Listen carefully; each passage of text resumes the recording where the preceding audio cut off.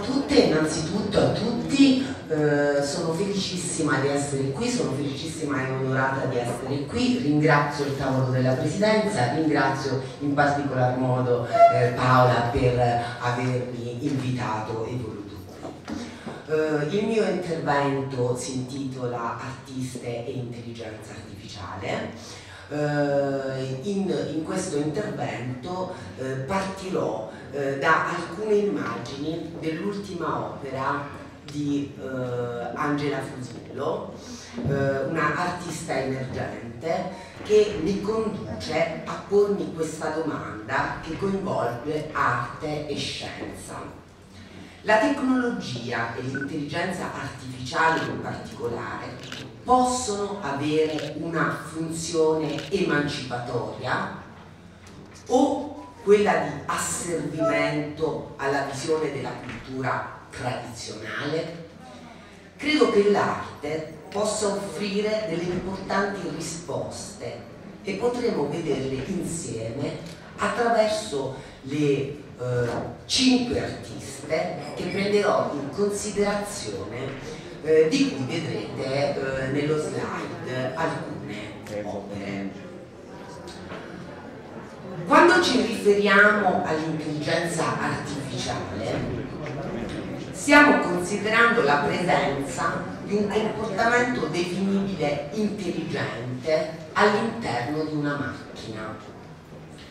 Già alla base si eh, trovano delle condizioni che necessitano di una definizione a partire dal concetto stesso di intelligenza, considerando inoltre che quando ci riferiamo alla intelligenza spesso ci riferiamo solo ed esclusivamente alla stessa in quanto sola facoltà umana.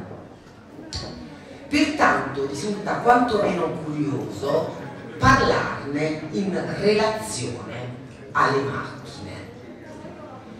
Quello che in tal proposito stiamo osservando è quindi un tentativo di applicare le una, un tentativo di applicare le condizioni dell'intelligenza umana alle macchine, non considerando tuttavia che queste costituiscono una alterità e pertanto necessitano di una concezione di intelligenza diversificata da quella umana. Appunto già Turing agli albori della questione differenzia l'intelligenza umana da quella delle macchine considerando che queste sono in principio mancanti in merito a tutte quelle esperienze, il cibo, il sesso e lo sport, di specifico interesse umano. In tal senso, Luciano Floridi ci dice che attraverso l'intelligenza artificiale stiamo iscrivendo nuove forme dell'agere e non dell'intelligere.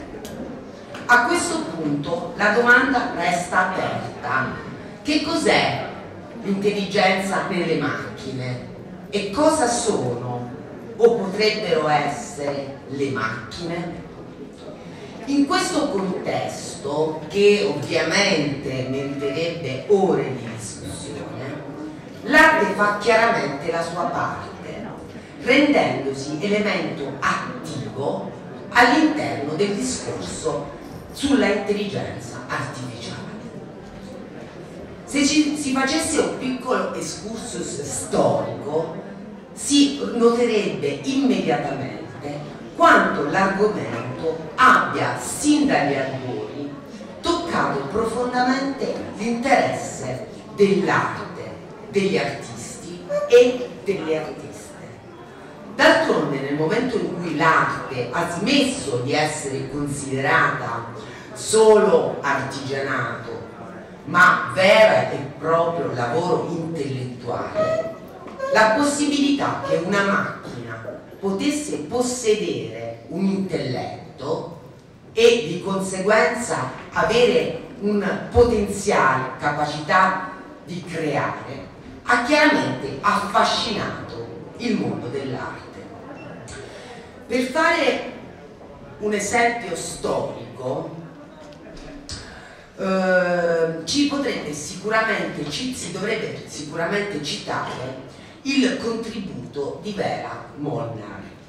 L'artista negli anni 60 cofonda diversi gruppi di ricerca creativa. Il primo nel 1960 è stato il Groupe de Recherche d'Art Visuale che studia gli approcci collaborativi dell'arte meccanica e cinetica il secondo era Art e Informatique, con un focus su arte e informatica. Molnar ha imparato i primi linguaggi di programmazione di Fortran e BASIC e ha ottenuto l'accesso ad un computer di un laboratorio di ricerca di Parigi dove ha iniziato a realizzare quelli che vedete alle mie spalle, dei disegni di computer grafica su plotter. L'artista stessa a darci prova di quanto il computer fosse stato considerato già in precedenza come un oggetto attivo, ci dice. Può sembrare paradossale, ma la macchina additata come fredda e inumana può aiutare a realizzare i nostri pensieri più soggettivi, irraggiungibili e profondamente umani. Come possiamo evincere dalle parole della Vera Molnar, i computer per gli analisti, e le, per gli artisti e le artiste sono solo alleati creativi, veri e propri punti di domanda in relazione a tutte le questioni, non solo propriamente legate al campo artistico, ma indissolubilmente legati alla esistenza umana. A tal proposito vorrei porre l'attenzione alla relazione esistente tra intelligenza artificiale e il corpo, considerando quest'ultimo da un punto di vista ontologico ed epistemologico. Di fatto, se ci pensiamo bene, cosa, che, cosa ci ha spinti a pensare l'intelligenza artificiale se non un interesse umano nella comprensione del corpo, dell'organismo?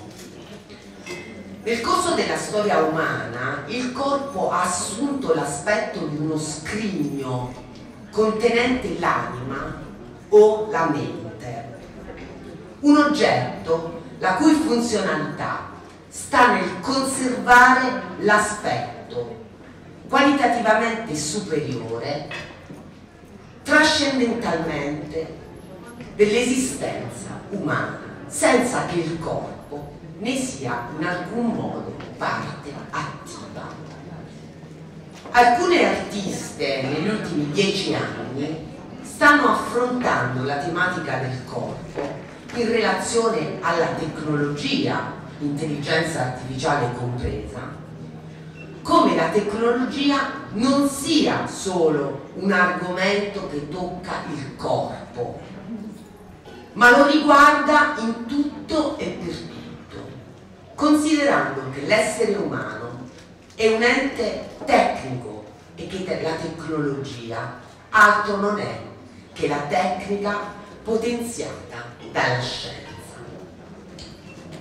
A tal proposito inizierei citando un'artista storica come Ito Steyer che ha incentrato tutta la sua ricerca nel ruolo che i media e la tecnologia hanno in relazione agli esseri umani, nell'era della globalizzazione.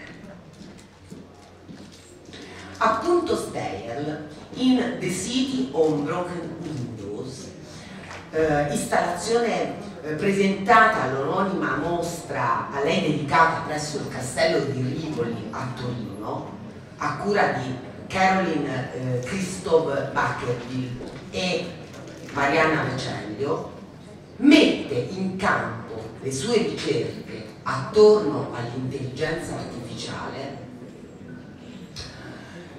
alle quali viene insegnato a riconoscere il suono delle finestre rotte, una pratica molto usata dalle industrie produttrici di intelligenza artificiale nel campo di sistemi di sorveglianza.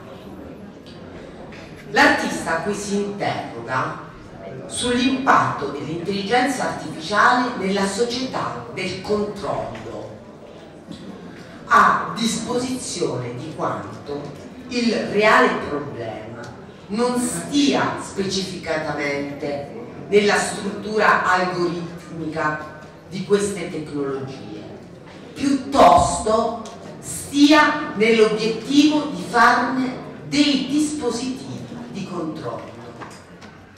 È di fatto ormai noto queste, quanto queste tecnologie siano soggette a pregiudizi cognitivi, rivelando un problema fondamentalmente umano. Consideriamo che le macchine rimangono ad ora un prodotto umano. Continuando questo piccolo excursus sulle artiste che stanno trattando l'intelligenza artificiale ritengo sia assolutamente degno di nota il lavoro di Stephanie Dickens. Eccolo. Conversation with Bina 48.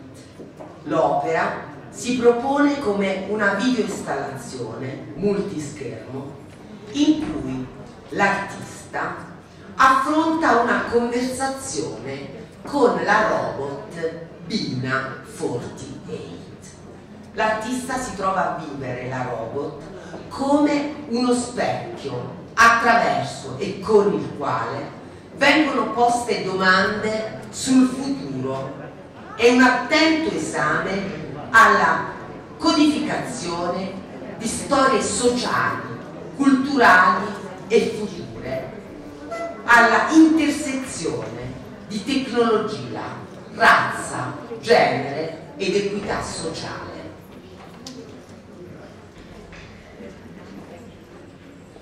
Ah, questo... Eh, interessantissimo il discorso. È, molto, è, un, è un, discorso molto, molto, molto complesso. Uh, allora dall'opera di uh, Stefan, uh, Stephanie Dickens passo all'opera di Sofia Crespo. L'opera di Sofia Crespo l'opera di Sofia Crespo, che è una giovane artista, si basa sulla teoria di Donna Haraway, caposcuola della teoria cyborg, sulla branca, una branca del pensiero femminista che studia il rapporto tra scienza e identità di genere. Il pensiero di Haraway è fondato sullo studio delle implicazioni della tecnologia e della scienza sulla vita degli esseri umani moderni.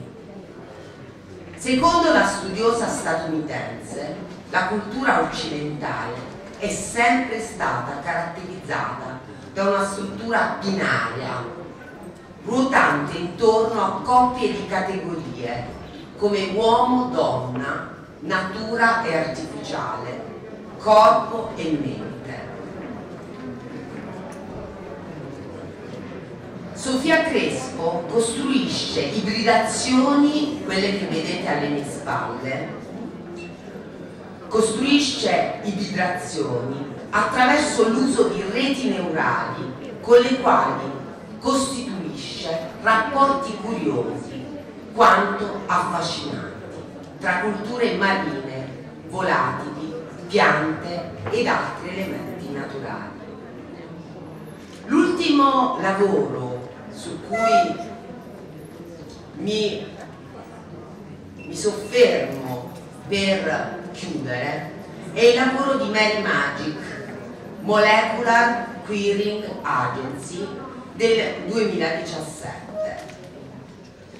Mary Magic attraverso il suo lavoro ci mostra quali possibilità abbiano, abbiamo di emanciparci attraverso il nostro stesso organismo e le tecnologie fatte per lo stesso, considerando inoltre quanto l'uso dell'intelligenza artificiale in campo genomico possa costituire anche il rischio di un ritorno a terrificanti politiche euro, euro, eugenetiche. Appunto l'intelligenza artificiale per come è stata strutturata dalle industrie produttrici, tende molto facilmente ad assorbire i pregiudizi cognitivi fondamentalmente umani. In conclusione vorrei dire che quanto mi spinge a ricercare nel campo dell'intelligenza artificiale è il fatto che questa costituisca di per sé una alterità e che in virtù di questo suo essere radicalmente aliena mi appare come uno strumento potenzialmente emancipatore.